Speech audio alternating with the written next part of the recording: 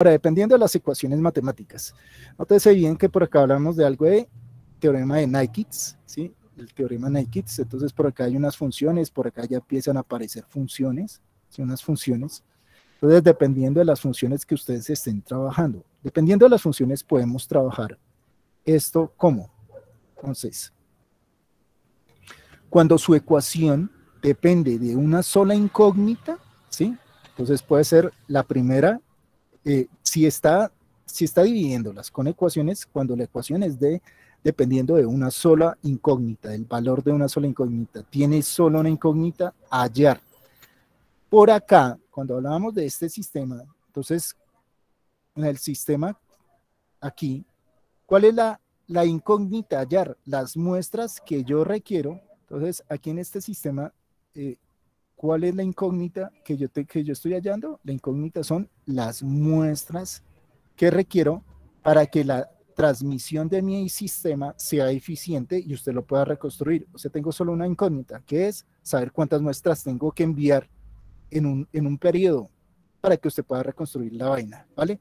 Entonces, esto es en función, ese que acabamos de ver es función de una sola incógnita, ¿vale? Este es en función de una sola incógnita. La incógnita sería, bueno, ¿cuántas muestras vas a enviar para que pueda reconstruir su sistema, las muestras. M. Usted tiene un sistema que depende de dos incógnitas, ¿sí? Entonces ya por acá vamos utilizando álgebra lineal para poder hallar dos incógnitas, ¿sí? Sería la, tipología en base de ecuaciones, sería la B. Ahora, si su topología depende de muchas variables, entonces ya no necesita álgebra lineal para solucionar, si usted tuviera una, una variable que es X de una variable que es Y y que las necesita hallar, ¿sí? Para solucionar su sistema, ¿sí? Entonces este es en base de dos incógnitas, pero si tiene más de dos incógnitas, es una ecuación multivariable. Entonces, primero, cuando depende de una sola incógnita, segundo, cuando depende de dos incógnitas.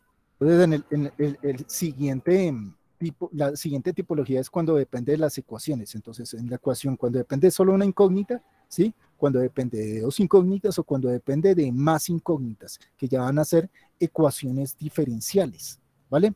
En este caso, que es dependiendo de las ecuaciones, usted se puede encontrar con sistemas que sean, ¿cómo solucionarlos? No es, el, no, es el, no es lo que vamos a trabajar, ¿cómo solucionarlos? ni eh, pues la parte matemática que empieza a robustecerse acá, pero puede encontrarse con ecuaciones que sean ecuaciones diferenciales, ¿sí?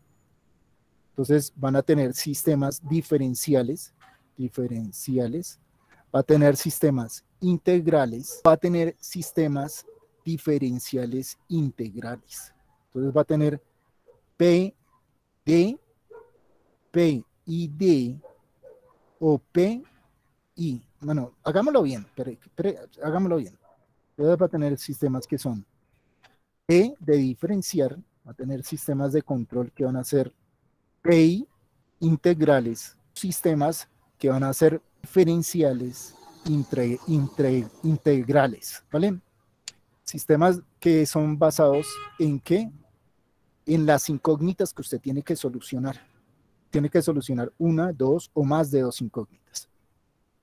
Y un ejemplo para la práctica de un sistema donde usted tiene un sistema PID, donde tiene muchas variables a solucionar en su sistema, es el siguiente. Usted tiene un carrito que está basado en dos ruedas, es un carrito que está basado en dos ruedas y su carrito no se tiene ni que ir adelante, ni que ir para atrás, ni que ir hacia la derecha, ni que ir hacia la izquierda. Usted tiene que estar en constante equilibrio de si su carrito se fue para adelante, si su carrito se va para atrás, entonces hacer un equilibrio, primero de arriba, de, adelante hacia atrás, de adelante hacia atrás. Ahora, que si su sistema se va a la izquierda o a la derecha, entonces tiene una segunda incógnita, a la izquierda o a la derecha. Van cuatro, adelante, atrás, izquierda y derecha. Tiene cuatro variables que tienen que estar todas, ¿en qué? Todas las variables tienen que estar en totalmente balance. O sea, el peso que usted va a meterle hacia adelante tiene que ser el mismo peso que va a ser hacia atrás. Y ahí ya tiene su sistema balanceado hacia adelante y hacia atrás. Si usted tiene su sistema balanceado hacia la izquierda, bueno, o en la pantalla como aparece, hacia la derecha, o hacia la izquierda, si los tiene su, su, peso, un peso y un contrapeso balanceado, le va a quedar en la mitad y acá le quedaría en la mitad. Veamos un ejemplo entonces de lo que estoy mostrando. Tipología ion en función del tiempo. Bueno, en función del tiempo necesitaría ser generadores de señales, un, un, un transmisor y un emisor, ¿sí? Puede ser en AM, que es el más fácil, o FM, una de las dos, para que empezamos a transmitir señales en discreto para este tipo de sistemas de control.